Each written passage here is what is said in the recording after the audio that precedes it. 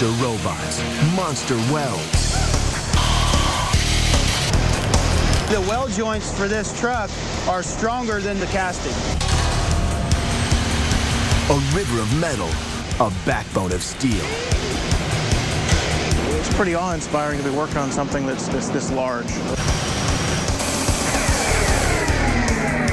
It's a groundbreaking design on a groundbreaking scale. Even though we build them tough, they get used tough. A mining marvel, manufactured at the super factories of Caterpillar.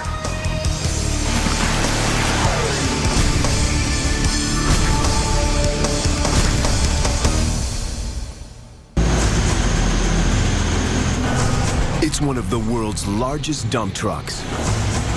Hard at work on the oil sands in Alberta, Canada. It's the Caterpillar 797B.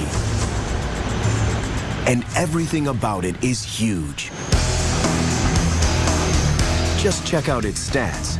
Height, more than 7 meters, almost 2 stories tall. Weight when loaded, nearly 600 tons, more than a Boeing 747. And power? Enough to move mountains. It's got a giant dual engine that delivers over 3,500 horsepower. That's twice as powerful as an M1 tank.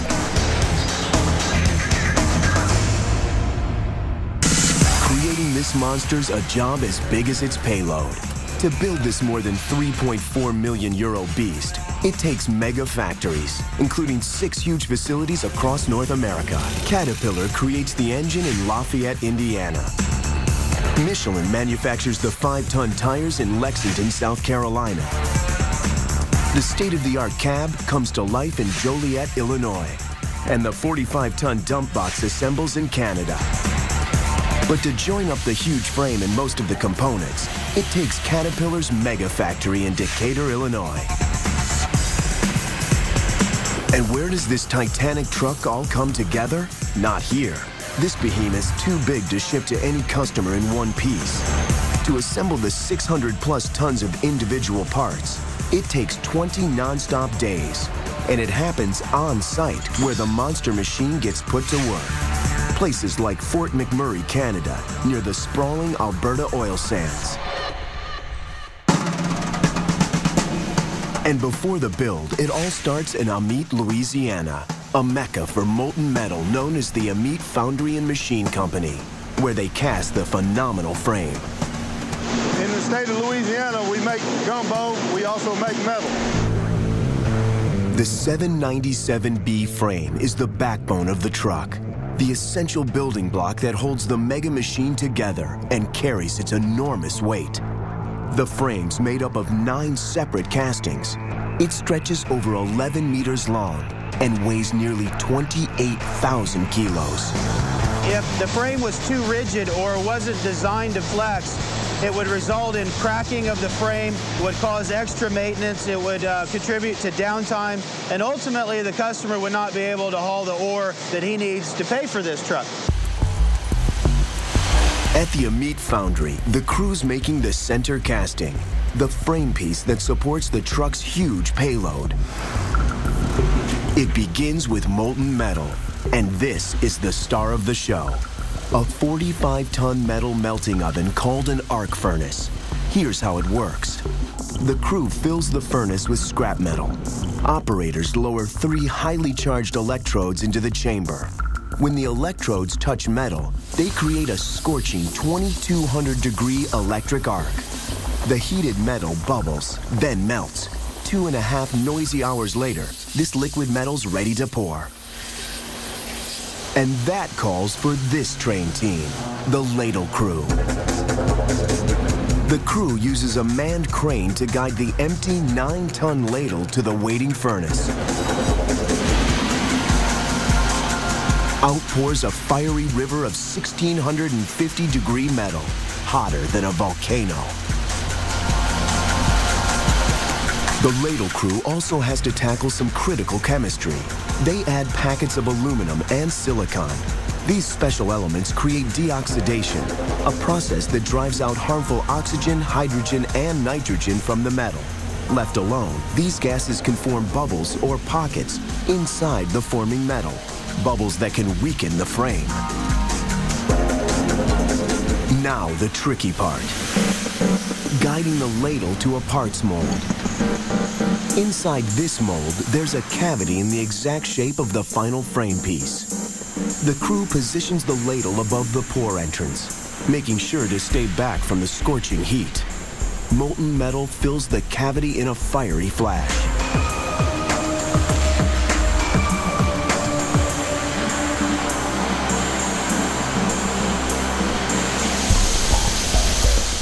The steel-filled molds have to cool a full 36 hours. Once cooled, the mold comes off. At this point, the casting looks rough, with coarse metal nubs sticking out like a porcupine. To get an even finish, crews cut off the excess steel. Yeah, all the excess gets cut off. Okay, this, cut here. That gets cut down low. Another crew then chips and grinds the casting smooth. The last step's called heat treating.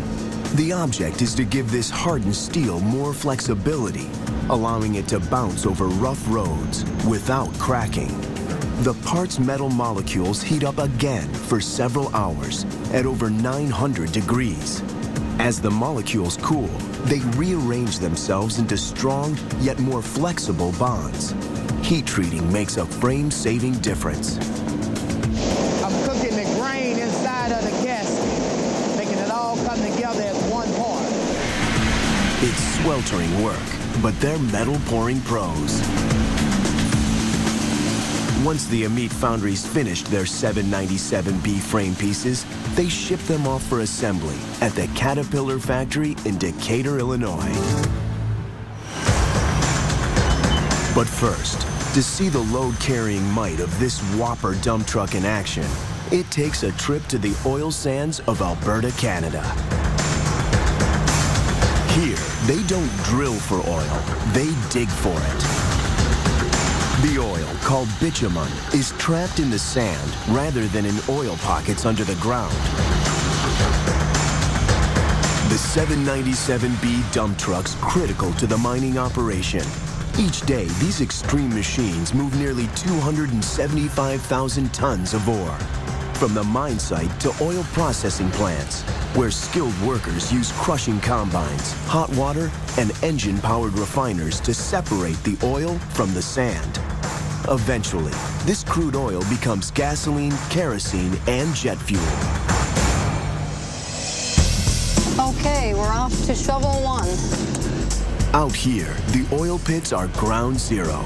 These shovels are towering 20-meter, 1,360-ton digging machines that load up the dump trucks with oil sands. With oil demand at an all-time high, every second counts. Working non-stop, each 797B truck delivers the equivalent of 200 oil barrels per load.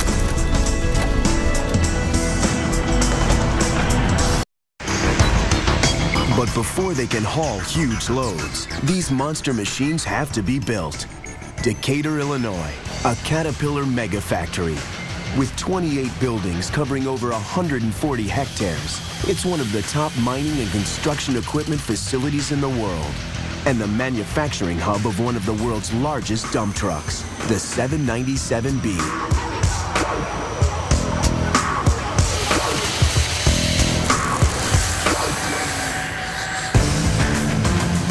Our dump truck in the makings, nine steel frame pieces have arrived from outside foundries. They're ready for the next steps, machining and welding. Here in Building D, workers first prep the metal joints for a super smooth weld. This rear casting uh, section would come in rough from our supplier. And one of the things we do here at Decatur Caterpillar is we'll machine these surfaces. When we assemble or weld the truck, we machine these casting surfaces in order for a, a, a very tight control of these joints, providing a very good weld joint.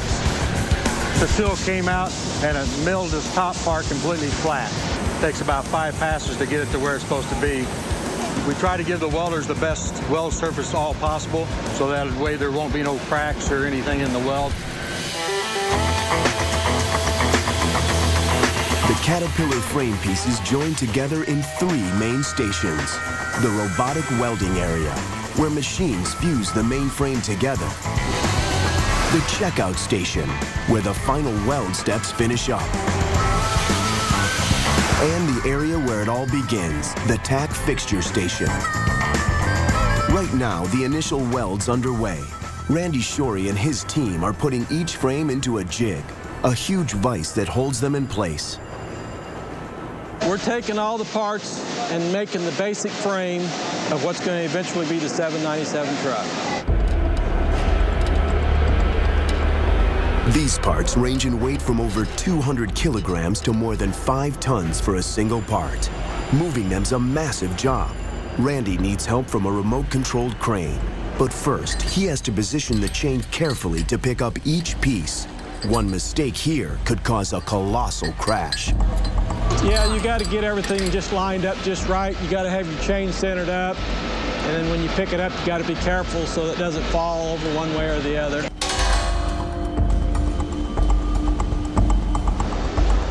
Well, it's leaning a little bit too far the one way, but it's close enough that I'll be able to set it in the fixture. To ensure a strong weld, Randy has to line up the pieces perfectly in the jig, with only a tiny gap between the seams. Well, I've just set this part in. Now we're going to take all these here bars and tighten everything up and get it in position. We'll start welding right down here and weld all the, bring this up and weld it all the way around here and down over to this other side. One of these here probably takes on average uh, three or four hours depending on how fast you weld. Randy and his team must tackle an impressive 18 welds in total. This giant Caterpillar frame's starting to come together, but the monster welding's not over yet. Before the frame can shoulder the load of a 797B dump truck, it has a date with some supersized welding machinery that takes this assembly process to high-tech heights. For more than 80 years, Caterpillar's yellow iron has transformed the world. No one on Earth makes more construction vehicles, 200 different types of machinery at work in nearly 200 countries. The Caterpillar success story began at the turn of the 20th century in the California farmlands. Inventors were in a race to replace horse-drawn farm equipment with new steam engine power. The first prototypes were so heavy they sank but in 1904, an inventor-entrepreneur named Benjamin Holt came up with an ingenious solution, tracks. Replacing the rear wheels of his machines with sets of tracks. These tracks distributed the weight of the machine more evenly and allowed the machine to actually float across the field. The revolutionary track design kept the machine moving, no matter what the terrain. A photographer saw one crawling across a field and called it a caterpillar. The name stuck and became a Holt trademark in 1910. Then, in 1925, the Holt organization joined forces with farming manufacturer C.L. Best, and the Caterpillar Tractor Company took off. Today, Caterpillar's massive machines surpass anything its founders could have imagined.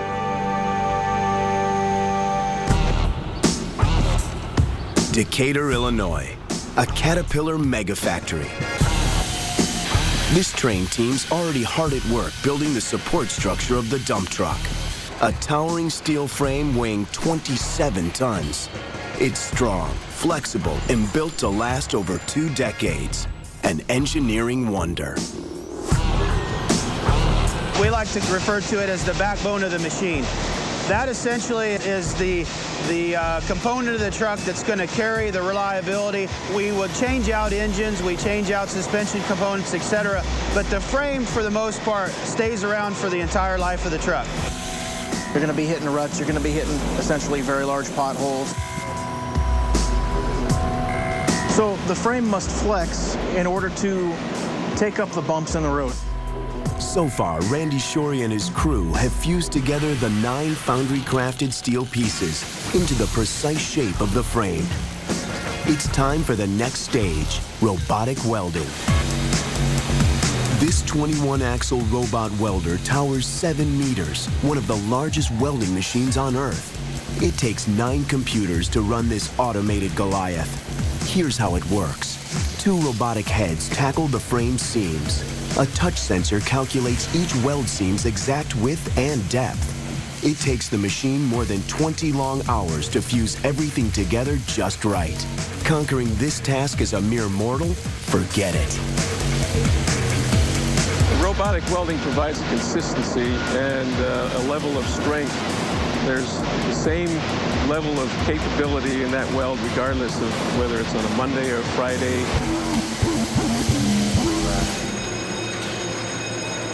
The next build station's called the rollover. Technicians tackle the hard-to-reach welds and any high-stress areas that have to be extra strong. This work demands the human touch. Our eyes are a lot more sound than the ones of the robot. Each frame uses an amazing 125 kilos of welding wire, a fast-melting metal joiner that works like hot glue. Welder Shannon Bale is working on structural supports called drop tubes. The reason why this weld has to be so tough is because it's a very high stress area. It's always under an extreme amount of stress because on each end of this tube, we have two cylinders that raise and lower the, the bed of the truck. Shannon's using a special welding wire made of carbon steel that hardens fast to prevent drips. This speed freezing wire allows welders to work uphill without making a mess, but it's delicate work. I would strike an arc here, and what I do is, if you could see this, I'd, I'd hold here, then I'd come over here like a Christmas tree, then I'd hold here, then I'd come up just a little bit more, then I'd hold here for a little bit. That way we're tying these sides in together. And then just keep on working your way up. When I first got over here, this is the job I wanted to do because this is so neat. At last, the frame assembly's titanic task is done. All nine pieces have been welded together. But before this build can go any further, this frame gets a tough inspection. A 797B's frame must be rock solid, or the whole truck could collapse.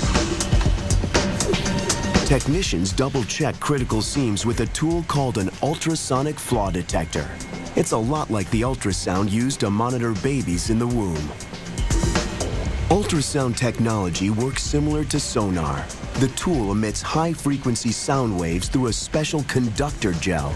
An attached computer detects and converts the sound waves based on how they bounce back, generating colored images that reflect strength and weld density. The system works like an in-depth detective, revealing any flaws.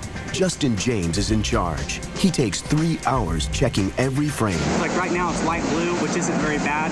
Now if you see red or yellow, then, then that means that we're gonna have a problem. No red in sight. The welds are good. It's painting. Today, the paint booth team's working on a giant earth-raking machine called a motor grader. Every Caterpillar vehicle gets a 2 to 3 millimeter coat of durable trademark yellow. And this is no ordinary paint job. Caterpillar sticks to a method called an electrostatic paint process. A specially designed spray gun gives the paint a negative electrical charge, while a supporting track gives the tractor part a positive charge. When the yellow spray flows, the negative paint attracts to the positive steel. And voila, a flawless finish.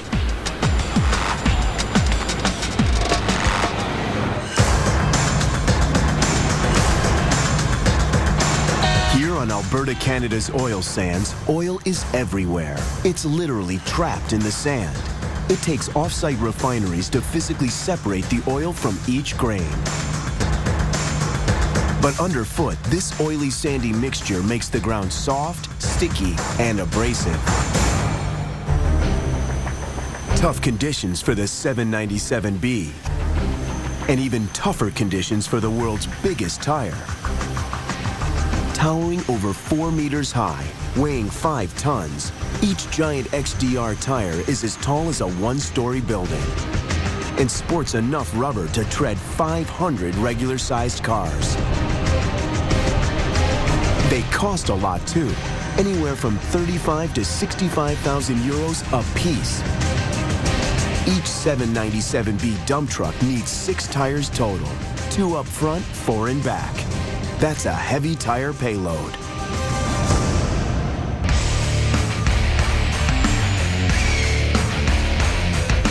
These supersized tires get their start thousands of miles away at the Michelin Tire Factory in South Carolina. To build these monsters takes several critical stages. First, the raw rubber goes through a machine called a plastifier, where it's ground up into gooey pellets. The pellets then travel to the mill, where another mega machine called an extruder stretches the soft pellets to create a thin rubber layer. At the mill, the rubber is flattened so we can cut it and, and make it into bands where we can feed it over into our extruder.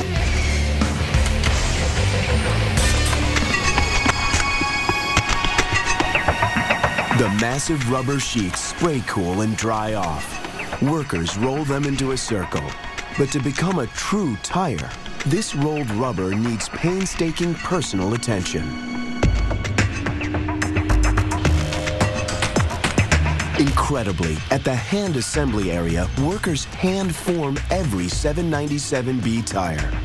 As the team smooths and aligns them, the sticky rubber sheets naturally adhere to one another. It takes a lot of rubber layers, up to 130 sheets in total, to form the tire's main surface. As I'm laying it, use my hands to make sure that it stays on that laser and that, it has the right amount of tension applied. All the products are laid evenly all the way across and roll down the joint to release any air that may be trapped. Technicians then insert a layer of rubber-wrapped steel to give the tire strength and durability. The bigger the machine, the more steel layers these tires need. A large earth mover tire may use as many as six steel layers, called belts. Technicians place these huge rubber rolls into a top secret mold. Here, pressure and heat force the rubber to take on the tread pattern that makes these Caterpillar tires the strongest in the world. 12 hours later, the finished tire emerges. But before any tire can hit the road, it has to pass inspection. I'm looking for any kind of non-conform on the tire, blister, uh, bad molding, uh, foreign matter, or anything of that nature. At last, the gargantuan tires pass the test. They're as solid as they are huge. These tough treads are now ready to stand up to the worst conditions the Alberta oil sands can dish out. And out here on the job, these Mega Beast vehicles have to run 24 hours a day, 365 days a year. The secret to their success? A 3,550 horsepower engine. To get to this towering dump truck's engine, you have to climb a flight of stairs. The 19-ton engine sits deep in the dump truck's belly. This helps give this giant earth excavator a low center of gravity, keeping it stable on rugged terrain. But to see the creation of this monster diesel-burning power plant, you have to travel all the way to Lafayette, Indiana, to the 140,000 square meter birthplace of the 797B's engine.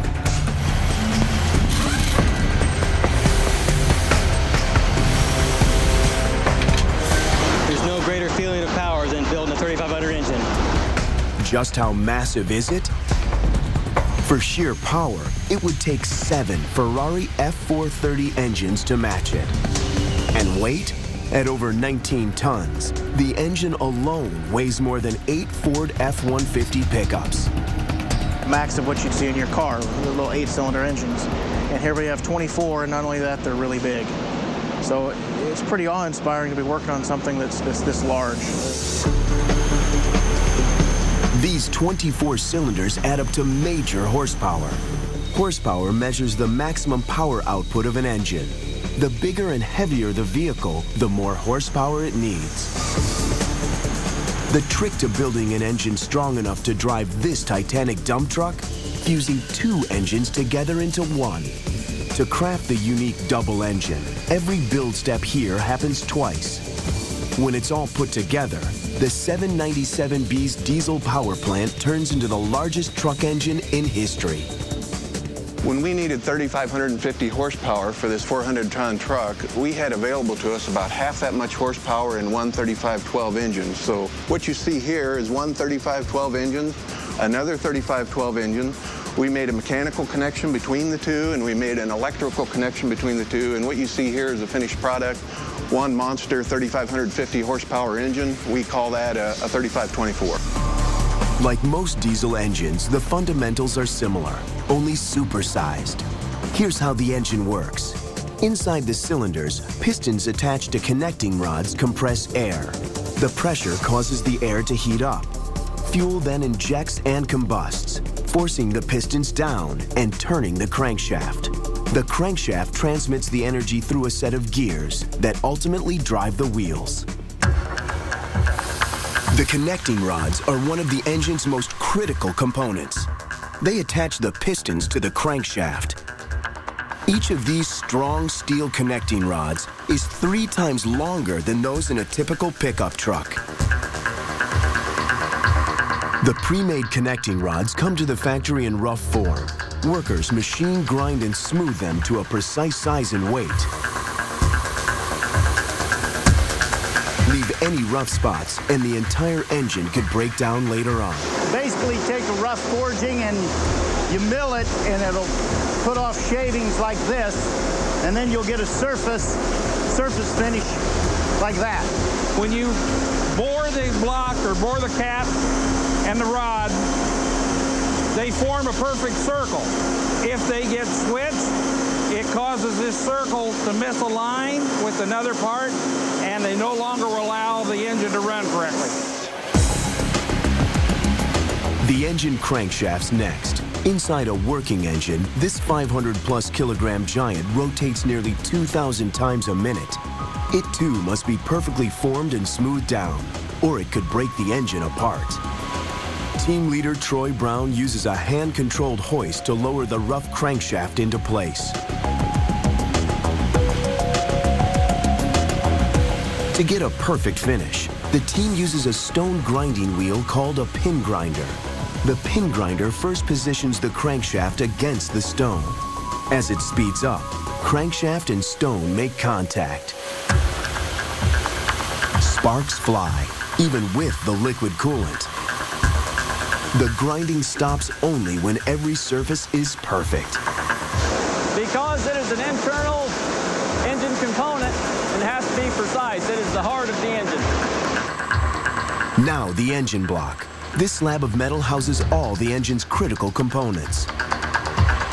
The technicians machine the sides and bottom and bore holes for wiring, fuel, and moving parts. When the doors close, um, you'll see the coolant kick on and the spindle will start turning and we'll start generating a hole. So that's what makes this solution unique in that we have a very accurate machine tool and a, that's capable of working a very large component.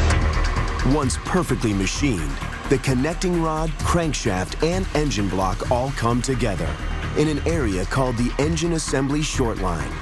From this point, we'll inspect it from end to end, uh, checking for any uh, damage or anything that we don't want to. We'll uh, load it up into the engine block right there uh, behind me. Technicians lubricate, hoist, and secure the crankshaft into the engine block. Next, the pistons meet the connecting rods. These piston powerhouses are way heavier than those in a standard pickup truck.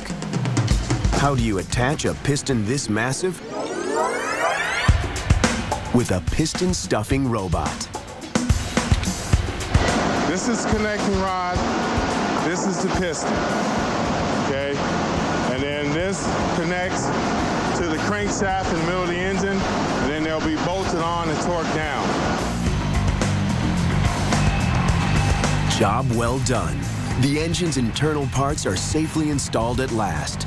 It's time for this diesel behemoth to travel down the main line and get some personality. First, heads and rockers.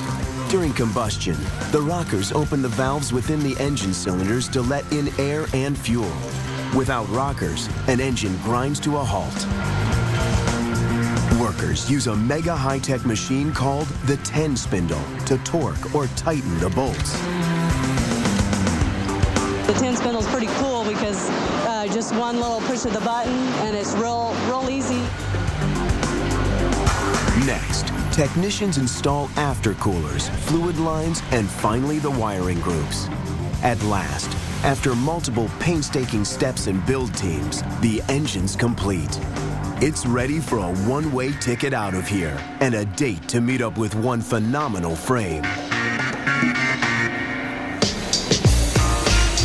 Back at Caterpillar 797B assembly headquarters in Decatur, Illinois, the engine's just arrived from Lafayette, ready to take its place inside the finished frame. Teams install the engine's hydraulics and wiring system, a crew then hooks the engine to a 55-ton remote-controlled crane. With parts this size, assembly's a big challenge. And in this case, it's also a tight squeeze. The compartment's only so big, so you, it's like putting on a glove. You, you only have so much room. The team carefully guides the 20-ton engine into the gap in the frame. Success. Bolts lock it firmly into place. This giant vehicle's starting to take shape. But to get this machine in the making road ready, it takes two skilled workers with safety straps and a remote control. They carefully guide the more than 40-ton beast onto the flatbed delivery truck. You have to really be in tune with the guy that's beside you. Any off balance can make the straps break or you shift truck from one end to the other. The first time you pick the truck up, um, you're really nervous. Mission accomplished. The Caterpillar 797B's frame and engine are ready to hit the road. But to become a mega dump truck, there's still two major hurdles left. Final delivery and final assembly. And it all happens almost 3,000 kilometers away in Alberta, Canada. It's gritty and grainy, and it's one of the toughest environments on Earth. The oil sands of Alberta, Canada. Here, dump truck drivers like Paula Freak spend 12 hours a day hauling ore from the pits. Hang on. Transporting it to oil separating and refining plants. The truck cabs their office and command center. To keep fatigue at bay, everything in the 797B cabs ergonomically designed. From panoramic view windows to hydraulic adjustable seats to control panels with user-friendly icons. Everything in here puts creature comforts up front. Uh, we have a good HVAC system in here that keeps them cool or warm and ergonomically seated so that they don't get tired. Because if they lose control of this equipment or their attention is lax, there could be serious consequences. To build these colossal cabs from the ground up, it all starts here, the Bergstrom factory in Joliet, Illinois. It takes a single dedicated technician about 40 man-hours to construct the entire cab from start to finish. Today, master assembler Brad Hills training rookie John Chambly. Overwhelmed, I was kind of like, is this really one person's job? Does one person really got to have this done in a certain amount? First up, the cab seat. Getting this installation just right is critical to driver safety. The team maneuvers the seat through the door and secures it to the floor.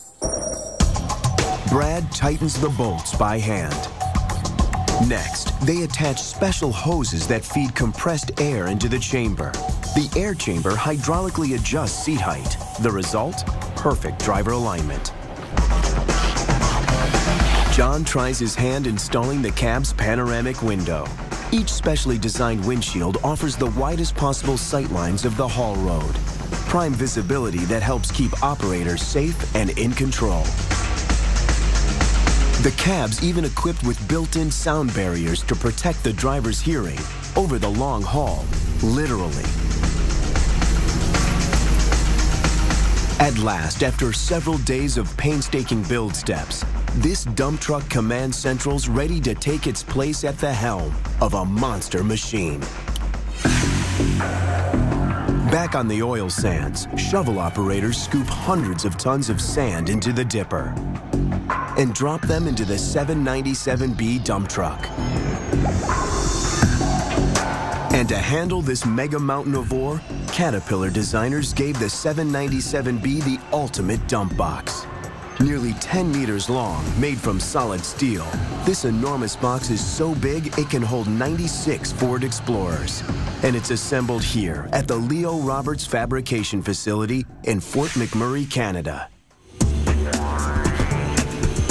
Trained assembly teams craft about one of these monster boxes a day. The 797B box is made up of five prefabricated pieces, the floor, two side sections, the front wall, and the canopy. Welder Preston Shiner hooks up the center floor section to the crane. He joins it with the other pieces for bolting and welding and moves it to the work area. Once airborne, this 15-ton metal slab becomes a handful. The only means of control, a tag line, a piece of rope that stops the floor from swinging as it lines up with the cart. The floor must be carefully placed on the cart, or everything could dangerously tip.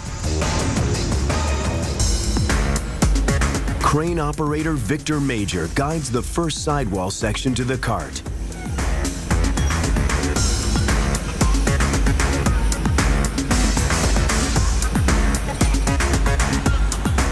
Carefully maneuvers it into place.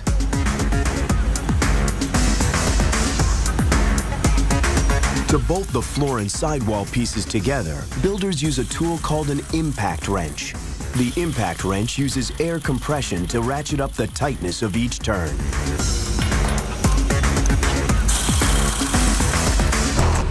But there's a problem. Even with securing bolts in place, the sidewall and the floor won't line up. A piece of metal's in the way. The solution? Cut it out with an oxyacetylene torch. The torch mixes the oxygen with the highly flammable gas called acetylene. It creates an extremely high temperature flame, burning at over 3,000 degrees. So hot, it cuts through metal like butter.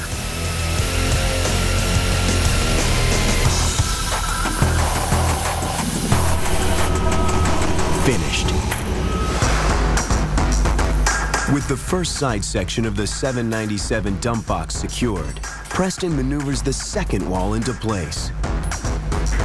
The team bolts the floor and wall together. A solid fit. Now for the final piece, the front wall. The team uses a crane to grab and hoist the wall into position.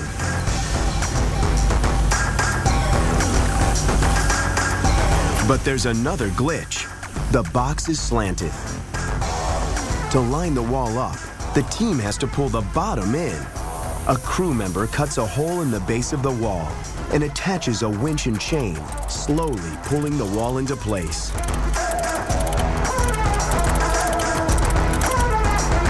Done. A welder now attaches bolt fixtures to the front and two side walls and pulls them together with an impact wrench. The last task, tack weld the front and side walls together. This stops any slippage between the three pieces during the final welding.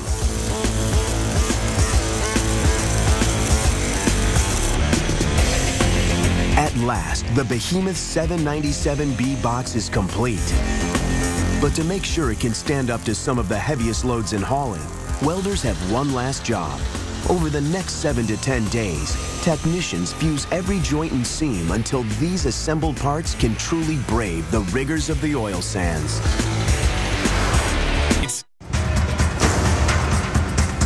Caterpillar manufactures some of the most powerful machines on Earth. But for the biggest monsters, final assembly's a giant challenge. To put the Caterpillar 797B together at any site around the world, it takes seven technicians working round the clock, seven days a week for 20 days. Tristan Hamilton and Soren Tomlinson work the day shift. They're assembling our dump truck in the making at the oil sands in Fort McMurray, Alberta, Canada. Usually we work in teams. Even the tools themselves are too heavy to operate by yourself, so a lot of times it requires two people in order to, uh, to do a job. Mechanics have already installed the axles, the engine, and the cab group. Now it's time for one of the trickiest parts of the build, installing the 6,300 kilo transmission. This job calls for a heavy-duty crane. The challenge? Make sure the sling holding the transmission strong enough to handle the weight without collapsing. If we weren't to use the correct lifting devices up here, we could, one, we could easily overextend the sling and break it, or we could drop something heavy and worst case scenario, hurt somebody. To measure and monitor the sling, engineers designed an ingenious safety feature called a tattletale. The synthetic fiber tattletale's loose strands hang down from an empty sling. As the stretch sling takes on a heavy load, the tail retracts. Technicians watch for the tattletale at all times. It tells them if the sling's stretched too far. If this is no longer visible, then that's the indication for us that something has been done that's not right with the sling. We take it out of service.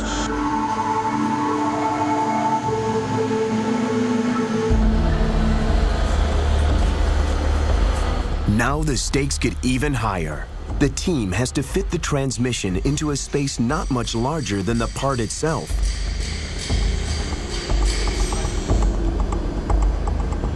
One wrong move, and another part of the truck could take a damaging hit. It's a very tight fit, and uh, it's, uh, we're dealing with such heavy weights. It's very important not to let it touch anything.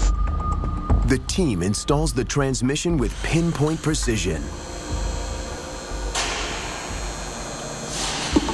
Mechanic Tom Chase's next job? Hoist the 4-meter, 5-ton tires into place. These steel-belted rubber behemoths bolt to the axle with some serious hardware. Uh, your typical uh, automobile would have five or six wheel nuts torqued to approximately 75 to 100 foot-pounds. This one's got 47 nuts and they're torqued to 2,300 foot-pounds. And a giant tire needs a giant tool. The air-operated torque wrench. This is uh, one of the more uh, physical jobs that we do. Well, I try to support the machine as close as I can to my body. The, the farther out that you hold it, of course, the heavier it gets. So I, I try and cradle it in my arms and, and support it that way so it get to keep it close and it's not quite so heavy that way.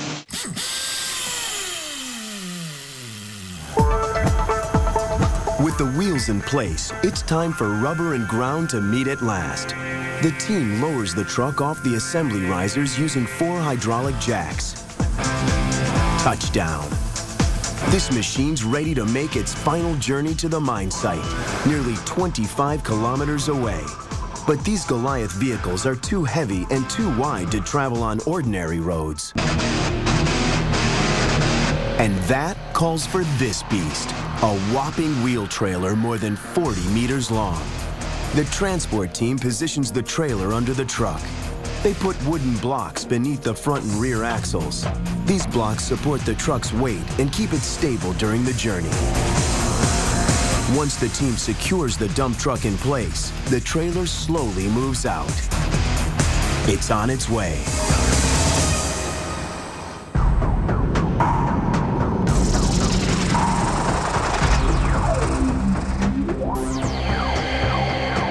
It takes one and a half hours to travel from the workshop to the mine site.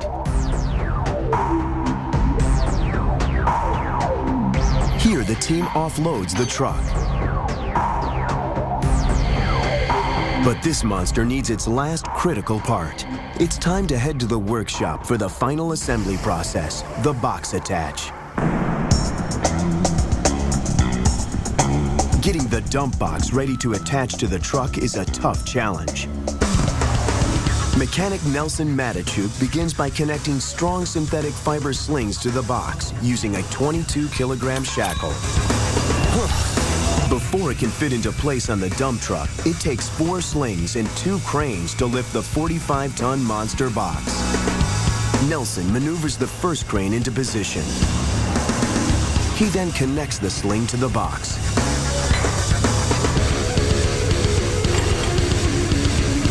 Okay, now we'll do the other side. Once he's got all four slings connected, Nelson begins the lift.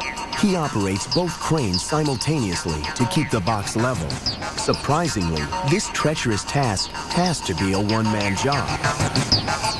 Well, it's, it's easier for one person to do it than two because if you got two guys running the, the controls, one guy will be stopping, the other guy might be starting, and you end up getting the box swinging or something. This way, one guy's controlling the whole situation. While Nelson lifts the dump box, a driver moves our 797B out of the adjacent bay and reverses the monster vehicle beneath the dangling part. Nelson slowly begins to lower the crane. Now for the tricky part. Nelson must lower this giant swinging 45-ton box onto two pin supports. This is one high-pressure jigsaw puzzle. It's not even a few inches. There's only a matter of, I don't know, there might be a half an inch on each ear there. That's it, once the box is sitting there. It's all a matter of timing. Nelson waits until the two parts are lined up and then carefully lowers the box. The box is in. Mission accomplished. The team now anchors the dump box in three places at the rear pin supports, the hoist cylinders, and on two front pedestals. They start with the rear pin supports. The first step, jam a set of shims, two metal rings, between the dump box and the pin supports. This stops any side-to-side movement during operation.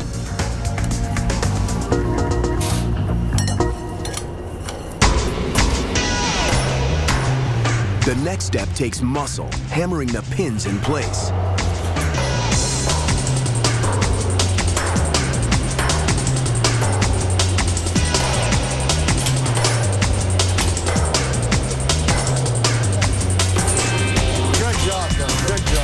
Beast's in at last. To finish the job, the team tackles the pins that connect the hydraulic hoist to the dump body. Mechanic Douglas Novice starts the 797B engine.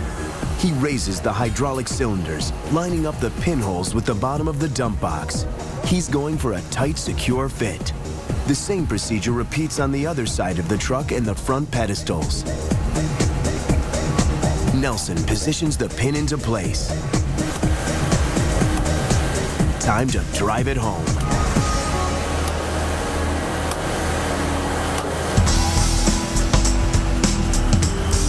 Finally, Nelson flexes the monster machine's muscles, raising the truck bed.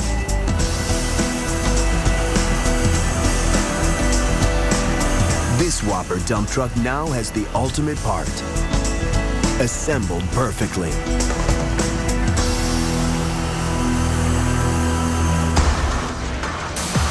It's taken six factories, over 600 tons of material, multiple teams in about 80 days. At long last, this colossus has come together.